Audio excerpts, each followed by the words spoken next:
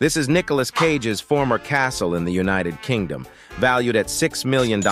He purchased it for 5 million in 2007 and sold it in 2009. Built in 1775, the castle is designed like a club symbol from playing cards. It's set on 35 acres of parkland and 12 acres of forest. The main floor has two levels with a combined kitchen, dining, and living area. Upstairs, there are two large bedrooms with king-sized beds and a big bathroom. The current owner, Scott Adams, has nearly finished restoring the castle. He has listed the castle and a separate building for rent on Airbnb. You can stay in the main castle for $2,100 per night or in the other building for over $600 per night. An interesting fact is that the castle was reportedly built with money won using the ace of clubs in a card game. Would you like to stay in this castle? Let us know in the comments below. Follow to not miss the next part of our celebrity real estate series.